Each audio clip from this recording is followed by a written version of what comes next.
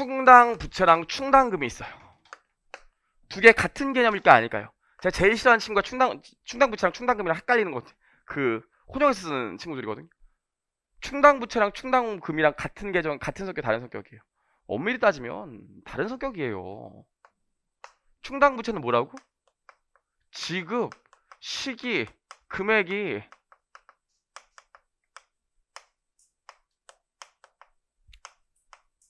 불확실한 부채죠? 지급 시기와 금액이 불확실한 부채?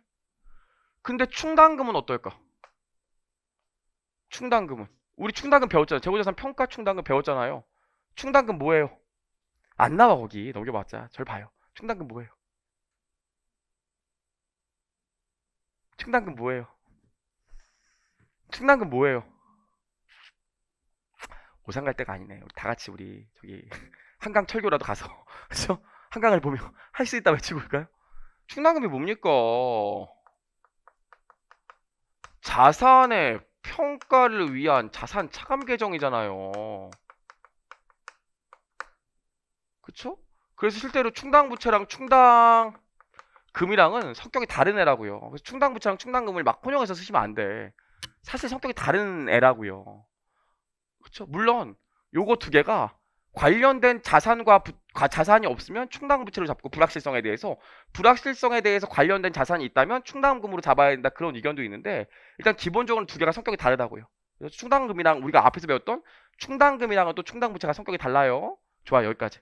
다시 충당 부채 누가 물어 어느 집에 엄마 물어 야너 충당 부채 배웠다며 충당 부채 이게 참 애매한데 충당 부채가 뭐니 그럼 뭐라 그럴 거예요. 그쵸? 지급 시기와 금액이 불확실한 부채를 충당 부채라고 지급 시기와 금액이 불확실함에도 불구하고 지금 잡아줄 수밖에 없는 이유가 뭐라고? 관련된 수익이 나왔기 때문에 수익 비용 대응 차원에서 지금 잡아줘야 되기 때문이라고요. 따라오시겠죠? 그럼 역시나 이 충당 부채에서는 제일 중요한 게 뭐겠어? 계속 얘기했지만. 충당 부채 인식요건이 제일 중요해. 지급 시기와 금액이 불확실하기 때문에 회사는 이걸 굳이 지금 꼭 잡아갖고 비용 처리해야 되는 거거든요. 충당부채 뭐가 제일 중요하다고? 인식요건이 제일 중요하다고요. 자 그럼 교재 보시면 이제 그 다음 페이지 400, 605페이지에 충당부채 인식요건 세 가지가 나와 있는데 세 가지를 모두 만족하는 경우에만 충당부채로 기재할 수 있다고 했습니다. 좀 지우고 보시죠. 자 보시면 이제 충당부채 인식요건 세 가지를 볼 건데 요거 세 가지를 만족해야지만 재무제표를 잡으면서 비용 처리할 수 있다고요.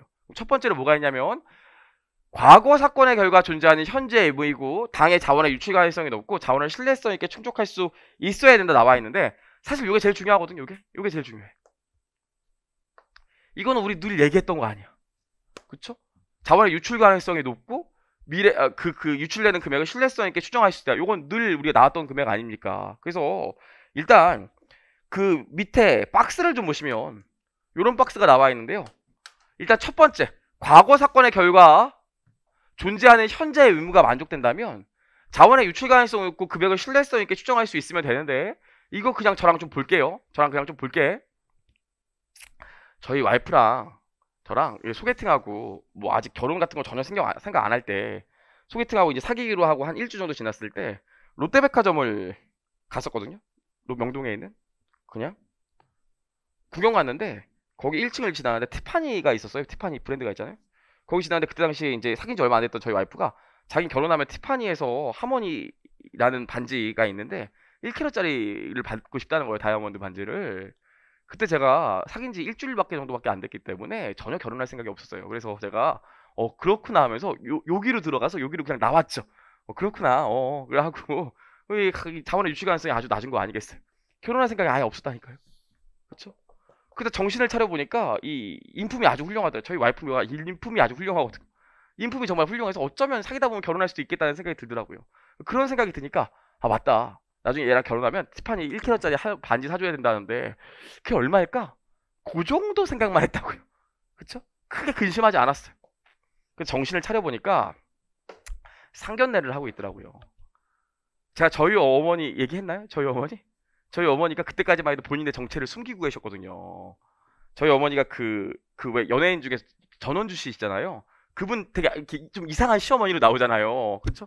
그 TV조선 보면 동치미라고 있어요. 그 시어머니들끼리 나와서 며느리 까는 프로그램.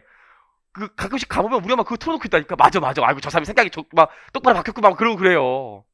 저희 어머니가 어떤 분이냐면 저번에도 얘기했지 와이프 임신해서 누워 있는데 제가 전화가 온다 낮에 띠리링 받아요 어 아가 너 혹시 국수 좋아하니? 아이 어머니 국수 좋아하죠 아 좋아하는구나 그럴 줄 알고 내가 싸웠으니까 문 열어라 막 이런다고요 저- 저희 어머니가 이런 분이세요 제가 그 함 얘기 했었나요 함? 함 얘기 안 했네?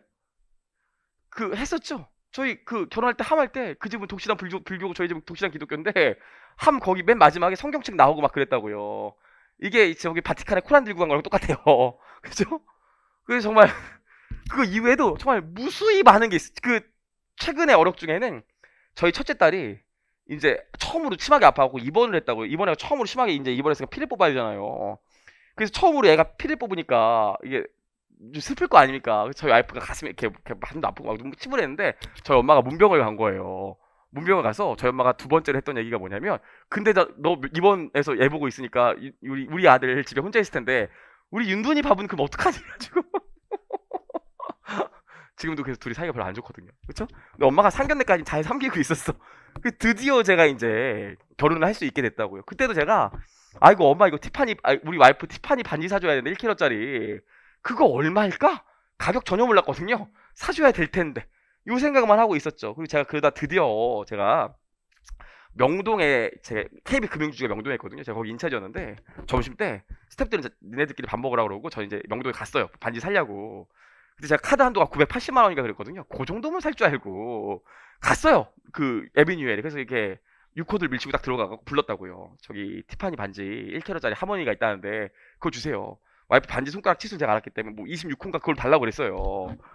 26호 맞나? 그, 그랬다고 했더니 아 잠깐만 기다려서 반지를 4개 갖고 오는 거예요. 제가 그래서 아니 저 받은 게 있으니까 그냥 그거 하나 주시면 돼요 그랬더니 왜 4개를 들고 오세요 그랬더니 이게 다 티파니 하모니 1캐럿짜리 반지라는 거예요. 근데 왜 4개죠 그랬더니 다이아몬드 상태에 따라 가격이 다르다는 거죠. 그리고 또 우리 flex가 있잖아요. 그래서 제가 됐고 제일 좋은 걸로 달라고 그랬어요. 그냥 아예 보여줄 것도 없고 그냥 포장해 달라고 그랬어요.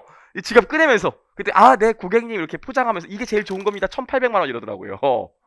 제가 그래서 한 발 물러나서 아 제일 싼 건 얼마인가요? 물었어요. 그랬더니 아 제일 싼 거 1,300만 원입니다 그러는 거예요. 제가 그래서 아, 지갑을 다시 넣고 이렇게 문어크로 아 감사합니다 잘 봤습니다 이렇게 문어크로 나왔다고요. 그때부터 근심이 시작됐죠. 어, 왜? 금액을 신뢰성 있게 아니까. 그래서 실제로 여러분 여기 있는 애만 충당부채로 계산할 수 있어요. 일단 1번, 2번 일단 무시하시고 첫 번째로 아셔야 되는 게 뭐냐면 제가 보세요. 원래 사귄 지 얼마 안 됐을 때는 공시 안 했잖아요.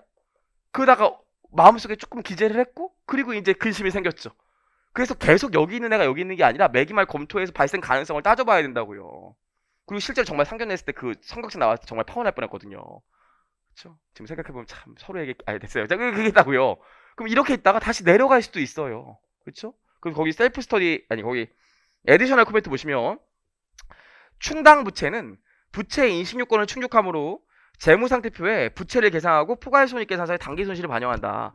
반면에 우발 부채는 부채 인식 요건을 충족하지 못하므로 주석에 기재하는 걸 원칙으로 한다. 나와 있는데 거기 세 번째 줄 끝에부터 보시면 우발 부채를 지속적으로 검토하여 과거에 우발 부채로 처리하였더라도 미래 경제적 효익의 유출 가능성이 높아진 경우에는 그러한 가능성의 변화가 발생한 기간에 재무제표에 충당 부채로 인식한다. 그래서 꼭 아셔야 되는 게 우발 부채로 있는 게 계속 우발 부채로 있는 것도 아니고 충당 부채로 있는 건 계속 충당 부채로 있는 것도 아니고 매기말 재검토를 하면 발생 가능성의 변동에 따라 달라질 수도 있다는 것만 좀 기억해 주시면 될 것 같아요.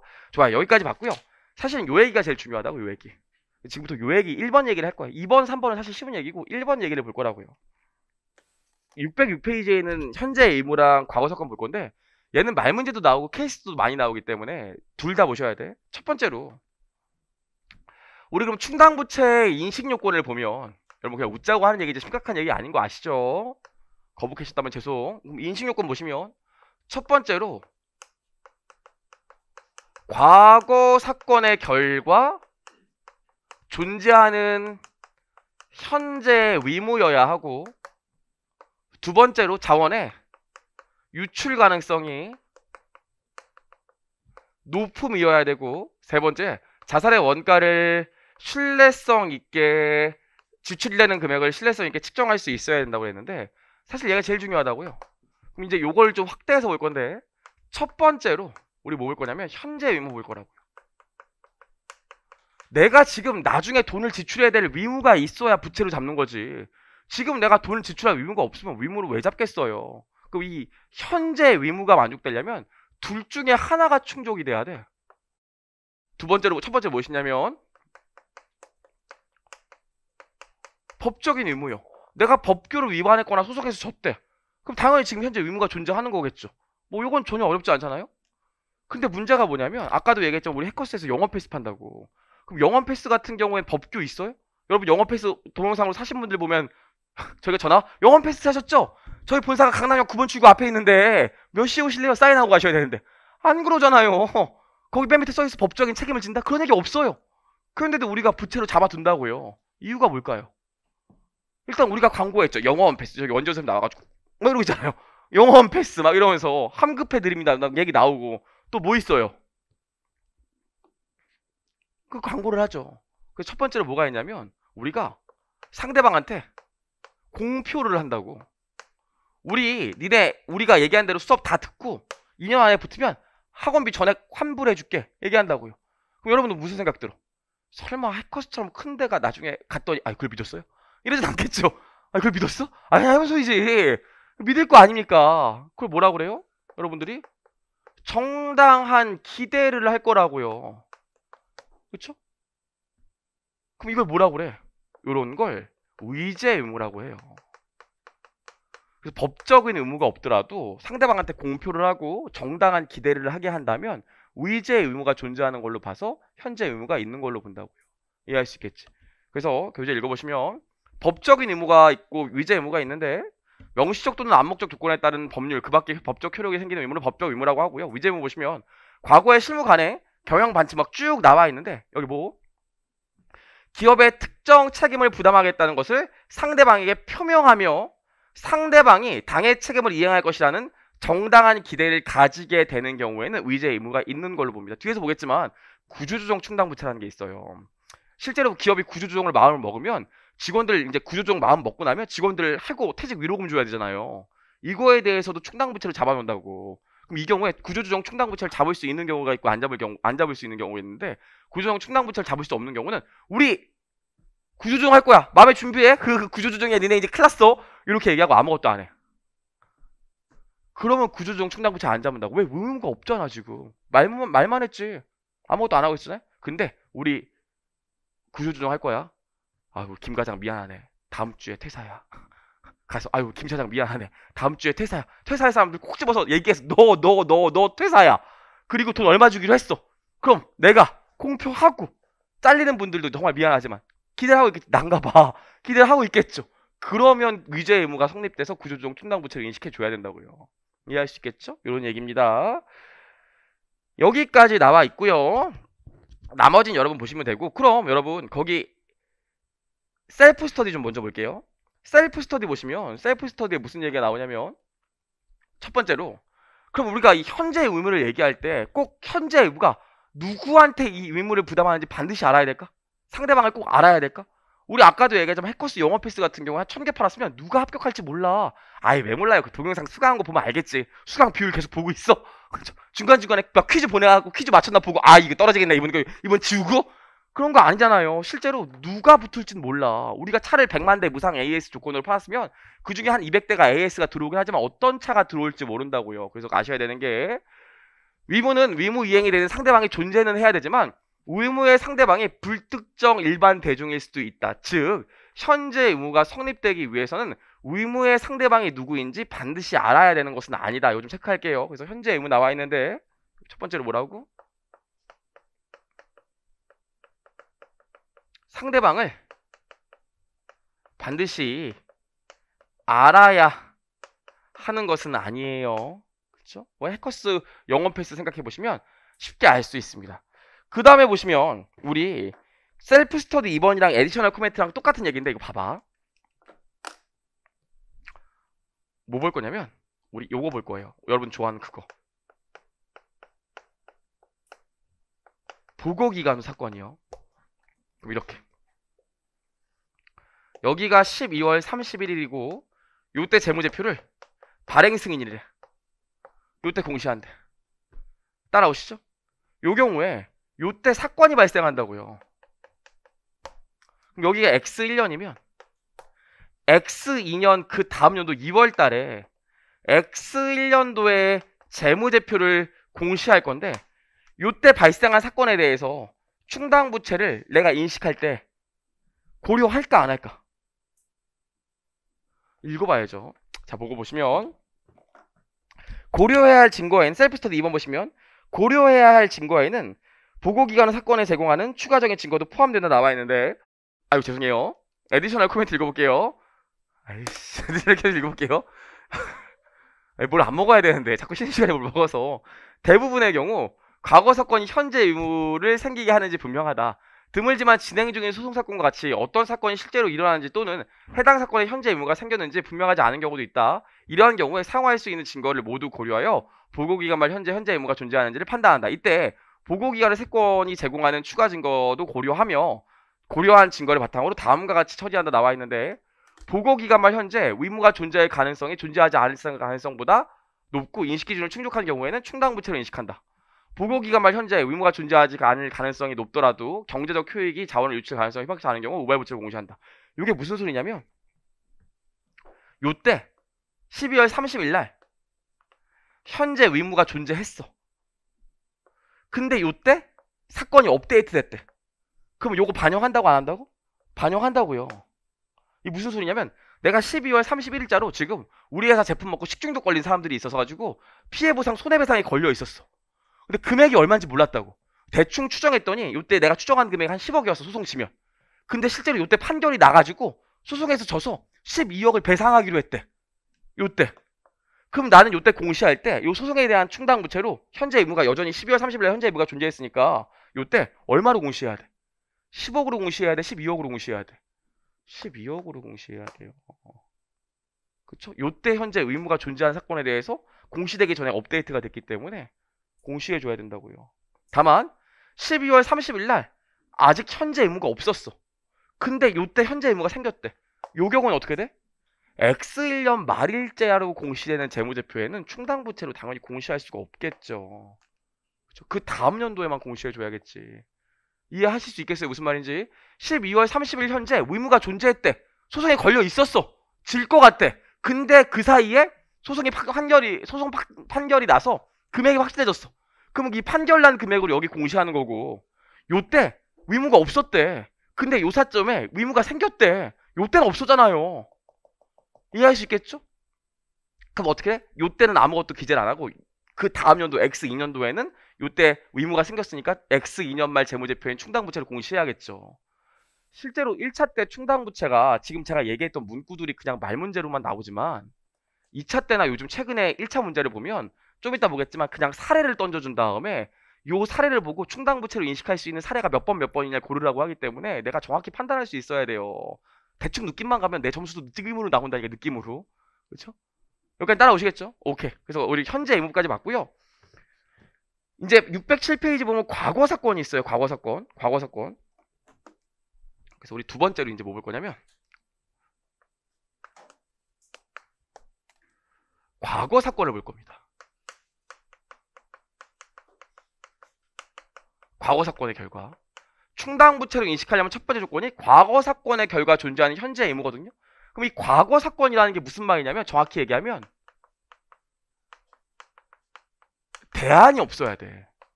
미래에 다른 옵션이 존재한다면 얘는 과거 사건의 결과가 아니야. 예를 들어서 우리가 영원 패스로 물건을 팔았는데 합격해서 왔어. 합격해서 왔더니 돈을 줄 수도 있지만 해커스에서 다른 뭐 영어나 이런 것들을 그 가격만큼 들을 수 있는 쿠폰을 준대.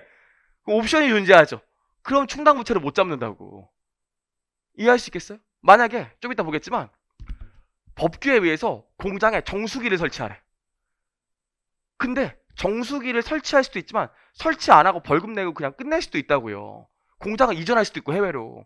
미, 미래에 내가 여러 가지 일을 할 수 있잖아? 그럼 과거 사건의 결과가 아니기 때문에 충당부채를 잡을 필요가 없어요. 이 과거 사건의 결과라는 건 미래에 회피할 수 없고 무조건 해야 된다고요. 내가 미래에 어떻게 하든지 무조건 부담해야 돼. 이게 과거 사건의 결과예요. 그래서 뭐라고 얘기하냐면 이 과거 사건의 결과라는 말은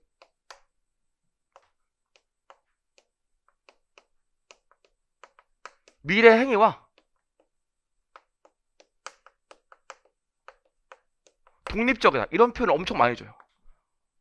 미래에 내가 어떻게 하든지 무조건 부담할 수밖에 없어야 미래 행위가 독립적이어야지만 과거 사건의 결과가 돼서 충당 부채를 인식할 수 있다고 이해할 수 있겠습니까? 그래서 거기 한번 읽어보시면 과거 사건 현재 위무를 생기게 하는 과거 사건을 위무 발생 사건이라고 한다. 위무 발생 사건이 되기 위해서는 당의 사건으로부터 발생된 위무를 이행하는 것 이외에는 실질적인 대안이 없어야 한다 나와 있고요. 밑에 1, 2번은 여러분이 한번 읽어보시고 재무제표는 미래 시점의 예상 재무상태표가 아니라 보고기간 말의 재무상태표를 표시하는 거므로 미래 영업에서 생길 원가는 충당부채로 인식하지 않는다. 이게 무슨 소리냐면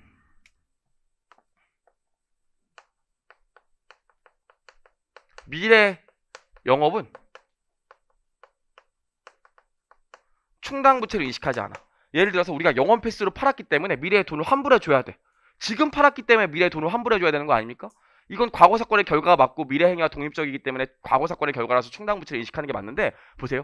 아 우리 이런 식으로 계속 장사하다 보면 내년에 적잖아. 어떻게 내년에 적자나게 생겼다니까 지금. 그럼 내년에 내가 장사하는 거에 대해서 적자가 나는 거 아닙니까? 그럼 지금 현재 말 미래에 적자 날 것 같으면 지금 그걸 충당 부채 잡을 수 있어 없어? 없어요. 미래에 일어날 일이지 지금 일어난 일이 아니잖아요. 이해할 수 있겠죠? 그게 요 얘기예요. 미래 영업에서 생기는 원가는 충당부채를 인식하지 않는다는 게 뭐냐면 미래에서 적자 날 것 같대. 그거는 미래에 일어날 일이기 지금 이미 일어난 일이 아니기 때문에 충당부채를 잡을 수가 없다고요. 이해할 수 있겠지? 오케이.